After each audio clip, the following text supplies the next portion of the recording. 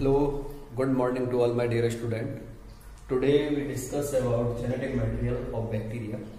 Bacteria में genetic material कैसा पाया जाता है कैसा होता है तो आज हम जेनेटिक मटेरियल जो बैक्टीरिया का जो जेनेटिक मटेरियल है उस पर चर्चा करेंगे कि जेनेटिक मटेरियल बैक्टीरिया का कैसा होता है लुक लाइक कैसा है कैसा दिखता है और ये काम क्या करता है तो आज का जो अपना ये टॉपिक है ये इससे संबंधित है, जो स्ट्रक्चरल ऑर्गेनाइजेशन इन बैक्टीरिया है, उससे संबंधित ये लास्ट टॉपिक है इसमें। और इसी का आगे यहाँ पे हम इसके बारे में डीएनए रेप्लिकेशन के बारे में बात करेंगे। ये इससे संबंधित लास्ट टॉपिक है तो उसके बाद आ जाएगा डीएनए रेप्लिकेशन तो अगर बात करते हैं genetic material of bacteria bacteria का जो जेनेटिक मटेरियल है, वो कैसा होता है? तो बैक्टीरिया में सिंपल सी यहाँ पे हम स्ट्रक्चर भी देख लेते हैं कि बैक्टीरिया सेल कैसी दिखती है। तो हमने आपको पहले भी कई बार बता चुके हैं कि बैक्टीरिया की सेल जो सिंपल सी स्ट्रक्चर है वो इस प्रकार की है सेल वॉल हो गई। देन सेल वॉल के अंदर की ओर पाई जाती है सेल मेम्ब्रेन और इसमें ये लीजोसोम जैसी स्ट्रक्चर पाई जाती है। और ये बन गई सेल मेम्ब्रेन सेल मेम्ब्रेन के इनफोल्डिंग से मीजोसोम एंड देन बनेगा यहाँ पे इस तरह के ये हाईली जो फोल्डेड है। ये जो पाया जा रहा है ये है इसका डीएनए और जेनेटिक मटेरियल। इस जेनेटिक मटेरियल को हम न्यूक्लियोड के नाम से जानते हैं। न्यूक्लियोइड बैक्टीरिया का जो जेनेटिक मटेरियल है, उसे हम न्यूक्लियोइड के नाम नाम से जानते हैं। ऐसा क्यों? जनरली हम क्या कहते हैं कि यूबरेटिक कोशिकाओं में जो केंद्रक है, उसको हम क्या कहें, न्यूक्लियस, जो आनुवंशिक पदार्थ है, जेनेटिक मटेरियल है, वो केंद्र के अंदर स्थित है। वहाँ केंद्रक भी कह रहे हैं, उसे न्यूक्लियस और यहाँ ऐसे न्यूक्लियोइड कह रहे हैं ऐसा क्यों? तो इसके बारे में आप जानेंगे अभी कि ये जो डीएनए होता है, ये सिंगल होता है एकल बैक्टीरिया का डीएनए सिंगल होता है एकल होता है सर्कुलर वृत्ताकार होता है। वृत्ताकार। ये देखो आप यहाँ पे, वृत्ताकार में होगा लगभग। हालाँकि हाईली फोल्डेड है, इसलिए कम दिखाई दे रहा है। DS DNA double stranded DNA होता है ये, दो रज्जु की डीएनए ऐसा डीएनए जिसमें कि दो रज्जु पाए जाते हैं, दो स्ट्रैंड पाए जाते हैं।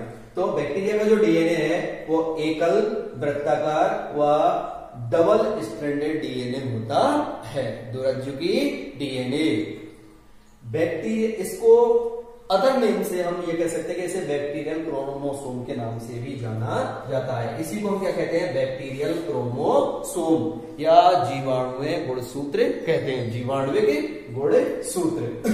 अच्छा। इसी को हम क्या कहते हैं? न्यूक्लियोड कहते हैं। न्यूक्लियोड इसलिए कहते हैं कि ये न्यूक्लियस सदृश से दिखता है, लेकिन वास्तव में न्यूक्लियस नहीं है। क्यों नहीं है? क्योंकि इस बैक्टीरिया में क्या है कि यदि हम केंद्रक को देखते हैं यूकरेटिक सेल्स के अंदर तो इस तरह का लगभग एक केंद्रक झिल्ली बनती है। इसमें केंद्रक कोर हो जाएँगे, ये न्यूक्लियोकोर ये केंद्रक झिल्ली हो गई, और इस केंद्रक झिल्ली से परिबद्ध रहता है। ये देखें आप यहाँ पे और इसमें क्या होगा? आनुवांशिक पदार्थ जेनेटिक मटेरियल यूकरेटिक सेल्स में, ये पे यूकरेटिक बात कर रहे हैं हम।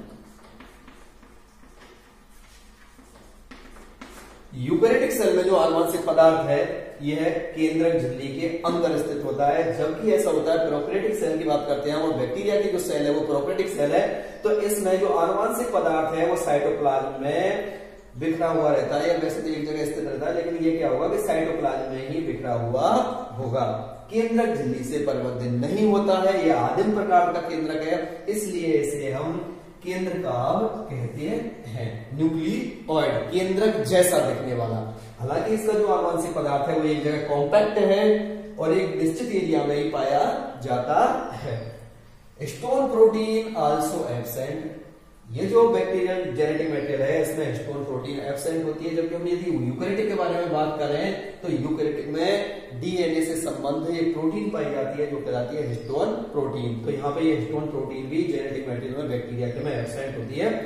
इसके स्थान पर कुछ हीट स्टेबल प्रोटीन इसमें पाई जाती है। Heat stable protein bacteria cell के अंदर और बैक्टीरिया के जेनेटिक मटेरियल के अंदर पाए जाते हैं। ये जो जेनेटिक मटेरियल है, इसका फोल्डेड स्टेट में प्रेजेंट होता है। जनरली ऐसा नहीं होता कि ये वृत्ताकार है तो ये वृत्ताकार बन गया गोला बन गया इस तरह होगा। ये क्या होगा?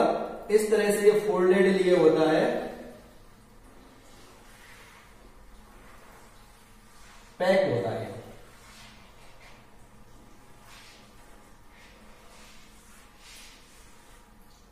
इस तरह से लगभग ये पैक होगा तो ये क्या होगा कि जो डीएनए है इसका, वो हाईली फोल्डेड होता है। इसी को हम क्या कह रहे हैं? बैक्टीरियल क्रोमोसोम इसी को हम क्रोमोसोम भी कहते हैं। क्योंकि गुणसूत्र की बात करते हैं हम तो गुणसूत्र आखिर है क्या?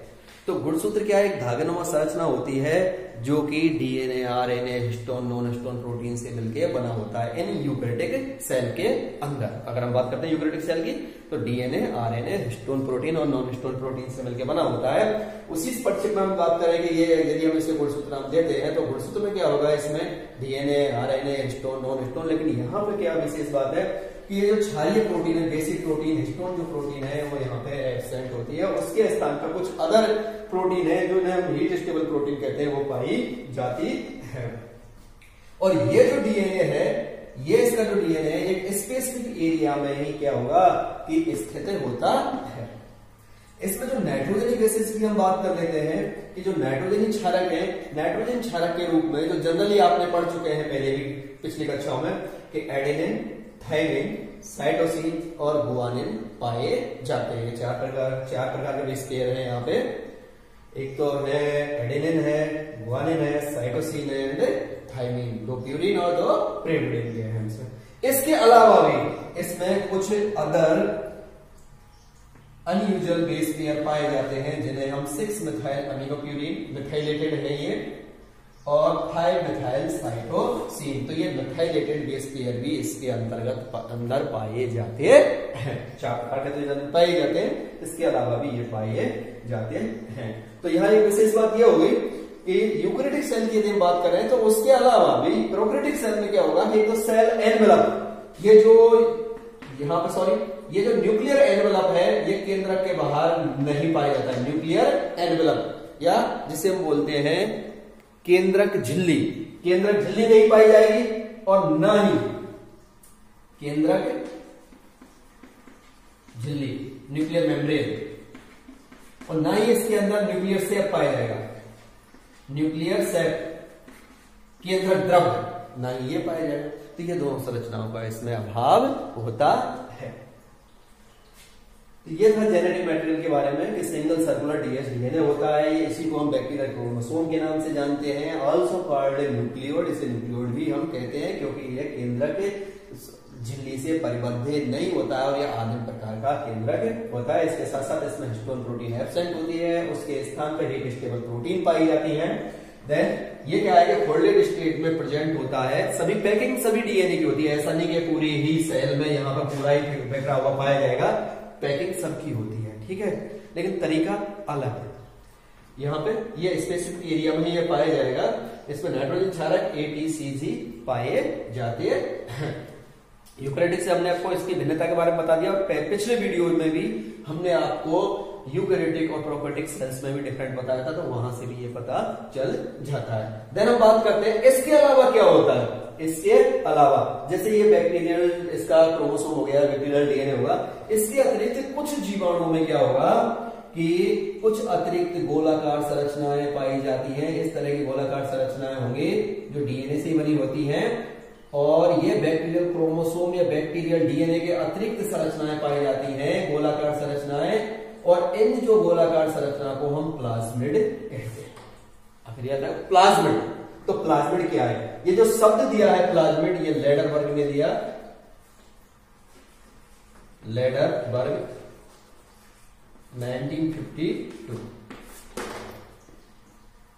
इनके अनुसार क्या है? प्लाज्मिड क्या है? ये जो प्लाज्मिड होता है, जीवाणु कोशिकाओं में या जीवाणुओं में बैक्टीरियल डीएनए या बैक्टीरियल क्रोमोसोम के अतिरिक्त वृत्ताकार संरचनाएँ पाई जाती हैं, जिन्हें हम प्लाज्मिड कहते हैं। ये तो वृत्ताकार संरचनाएँ अतिरिक्त है, स्वायत्त है ऑटोनोमस है। इससे बिल्कुल सेपरेट है। जब कभी भी ये जो वृत्ताकार संरचनाएँ हैं, यदि ये इसी के साथ इनकॉर्पोरेट हो जाती है, अर्थात जुड़ जाती है बैक्टीरियल जो क्रोमोसोम है बैक्टीरियल डीएनए उसके साथ जुड़ जाती है, तब इनके लिए एक दूसरा शब्द इस्तेमाल किया जाता है उसका नाम है एपिसोम तो प्लाज्मिड जब वो सेपरेट है तो वो प्लाज्मिड कहलाएगा, गोलाकार संरचना है, लेकिन जब ये बैक्टीरियल डीएनए का भाग बन जाते हैं या उससे इनकॉर्पोरेट हो जाते हैं, उससे संयोजित हो जाते हैं, जुड़ जाते हैं, तब इन्हें एपिसोम कहते हैं। फ़ंक्शन के आधार पर भी हम बात करते हैं तो ये प्लाज्मिड होते हैं, वो डिफरेंट टाइप्स के होते हैं। अब यहाँ एक बात आप जान लें कि ये प्लाज्मिड आखिर है क्या? तो प्लाज्मिड क्या है? कि डीएनए का ही मॉलिक्यूल से डीएनए का अणु है, जो कि गोलाकार है। यहाँ देखिए आप, इसमें डबल स्ट्रेंडेड गोलाकार संरचना है। सर्कुलर एंड डबल स्ट्रेंडेड तो ये कैसा है? Circular DS DNA DS DNA circular है, वृत्ताकार डीएस डीएनए और आप जानते हैं कि डीएनए का कोई खंड या भाग जो किसी विशिष्ट एंजाइम या प्रोटीन का संश्लेषण करता है, उसे हम जीन कहते हैं। कोई कोई एक विशेष फ़ंक्शन कर रहा है तो डीएनए का अनुक्रम होगा उसमें। इसका मतलब इसमें डीएनए का अनुक्रम है, जो कि कोई विशेष काम करेगा तो उसी का फ़ंक्शन के आधार हम यहाँ देख रहे हैं। तो डिफरेंट टाइप के यहाँ पे आप देखेंगे प्लाज्मिड के प्रकार। फ़र्स्ट हम बात करते हैं फर्टिलिटी फैक्टर और सेक्स फैक्टर प्लाज्मिड कुछ प्लाज्मिड ऐसे होते हैं, जीवाणुओं की बात कर रहे हैं हम। जीवाणुओं में ही कुछ प्लाज्मिड ऐसे होते हैं जो कि जीन ट्रांसफ़र का काम करते हैं। At the time of conjugation conjugation कुछ प्लाज्मिड कॉन्जुगेशन के समय और इसको बोलते हैं संयुग्मन। संयुग्मन के समय जीन ट्रांसफ़र का काम करते हैं। उन्हें हम फर्टिलिटी फैक्टर या सेक्स फैक्टर प्लाज्मिड कहते हैं। ठीक है? तो कुछ जीवाणु क्या होंगे? कि कुछ जीवाणुओं में इस प्रकार के प्लाज्मिड पाए जाते हैं जो जीन ट्रांसफ़र का काम करते हैं। सभी प्लाज्मिड जीन ट्रांसफ़र का काम नहीं करते। कुछ प्लाज्मिड हैं जो जीन ट्रांसफ़र का काम करते हैं कॉन्जुगेशन के समय। एक कोशिका से दूसरी जीवाणु कोशिका में उन्हें हम फर्टिलिटी फैक्टर और सेक्स फैक्टर प्लाज्मिड के नाम से जानते हैं। सेकेंड है आर प्लाज्मिड आर प्लाज्मिड तो कुछ प्लाज्मिड ऐसे होते हैं जिनमें कि एंटीबायोटिक रेसिस्टेंट जीन पाए जाते हैं। एंटीबायोटिक रेसिस्टेंट जीन पाए जाते हैं, उन्हें हम आर प्लाज्मिड के नाम से जानते हैं। एंटीबायोटिक, और जिन्हें बोलते हैं प्रतिजैविक। अब ये जो प्रतिजैविक है, ये जैसे एंटीबायोटिक की बात करते हैं हम जैसे टेट्रासाइक्लिन है। टेट्रासाइक्लिन है। एम्फिसिलिन है। यह है प्रतिजैविक। तो यदि इन प्रतिजैविकों के प्रति प्रतिरोधी जीन किसी प्लाज्मिड में पाए जाते हैं तो उसे हम आर प्लाज्मिड कहेंगे। हम बात कर रहे हैं यहाँ पे कि जो आर प्लाज्मिड है रेसिस्टेंट प्लाज्मिड बोलते हैं। आर लिया गया रेसिस्टेंट से तो आर प्लाज्मिड तो इस प्रकार के प्लाज्मिड जो एंटीबायोटिक रेसिस्टेंट जीन रखते हैं एंटीबायोटिक रेसिस्टेंट एंटीबायोटिक मतलब प्रतिजैविक प्रतिरोधी जीन रखते हैं। अर्थात इस प्रकार के जीन हैं जो प्रतिजैविक को प्रतिजैविक से नष्ट नहीं होते और उनके प्रभाव को रोक देते हैं। ये जो जीन है, क्या क्या करेंगे?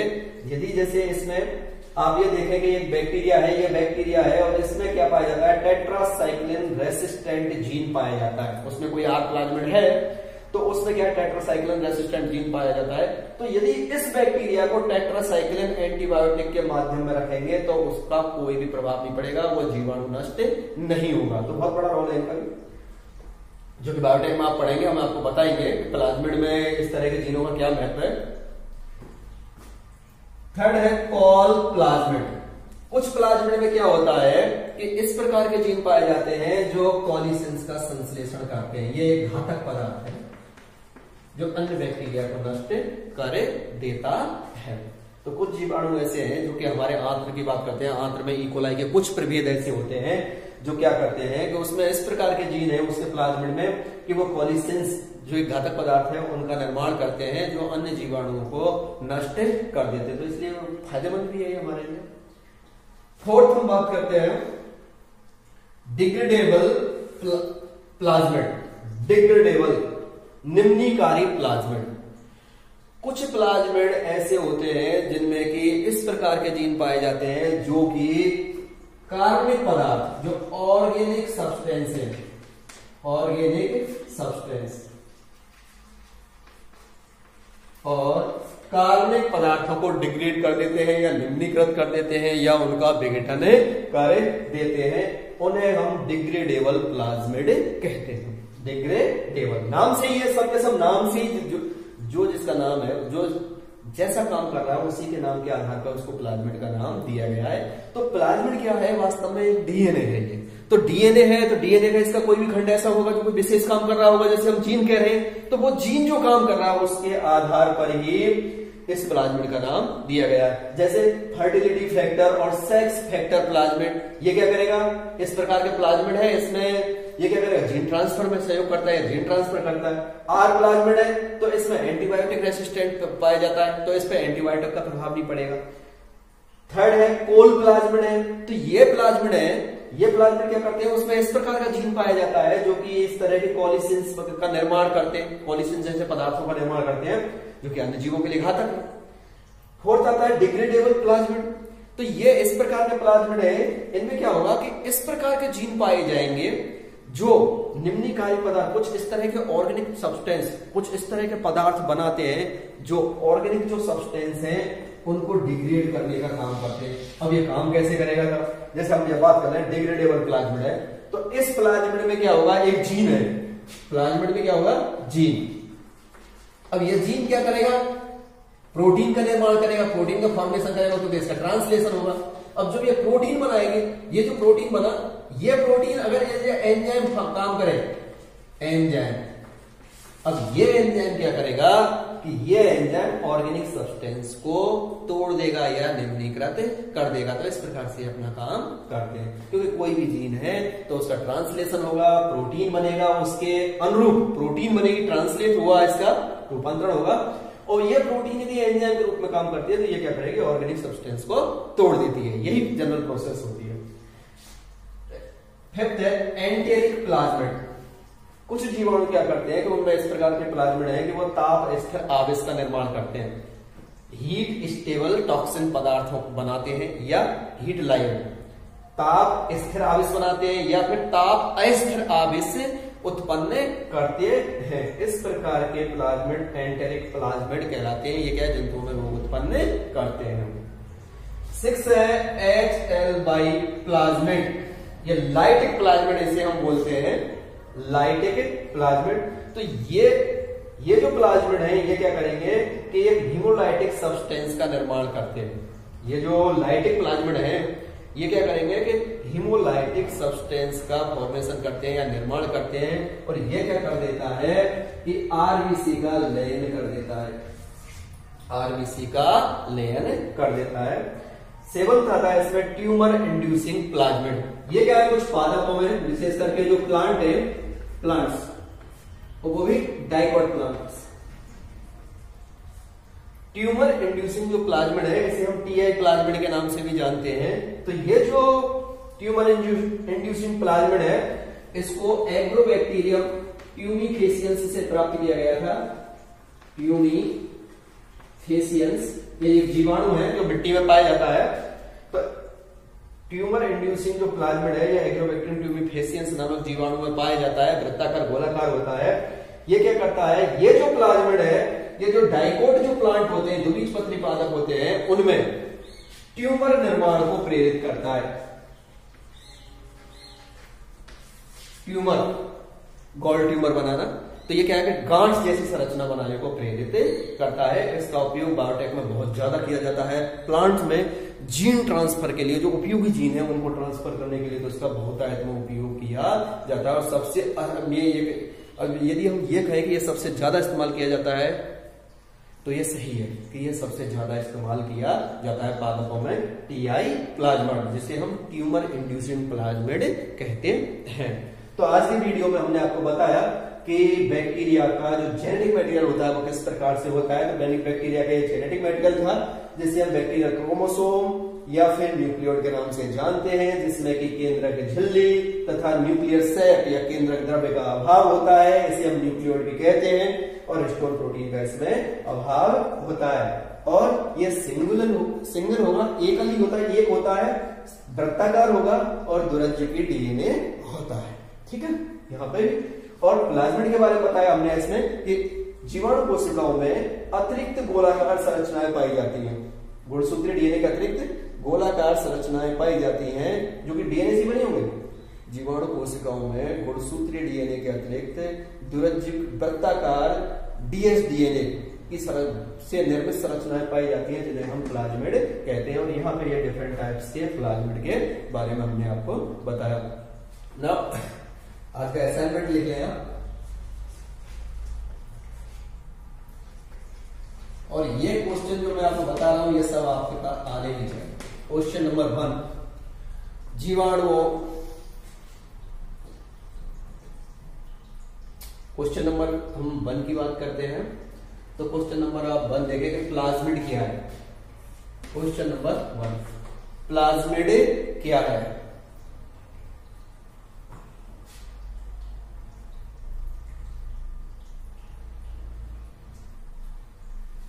प्रत्येक लाइन में भी क्वेश्चन बन सकता है जैसे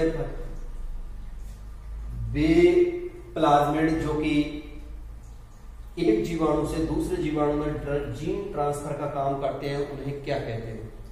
बे प्लाज्मिड जो एक जीवाणु से दूसरे जीवाणु में जीन ट्रांसफ़र करते हैं उन्हें क्या कहते हैं? सेक्स फैक्टर प्ला, प्लाज्मिड या फर्टिलिटी फैक्टर और बे प्लाज्मिड जो प्रतिजैविक प्रतिरोधी जीन जिनमें पाए जाते हैं, उन्हें हम क्या कहते हैं? तो उन्हें कहेंगे हम R plasmid resistant plasmid plasmid जो एंटीबायोटिक रेसिस्टेंट जीन जिनमें पाए जाते हैं, उन्हें क्या कहते हैं? तो आर प्लाज्मिड और थर्ड क्वेश्चन है इसका जेनेटिक जीवाणुओं के आनुवांशिक पदार्थ पर शॉर्ट नोट लिखिए संक्षिप्त टिप्पणी लिखिए संक्षिप्त टिप्पणी short note write short note on bacterial genetic material bacterial genetic material Thanks to all my dear students for listening me.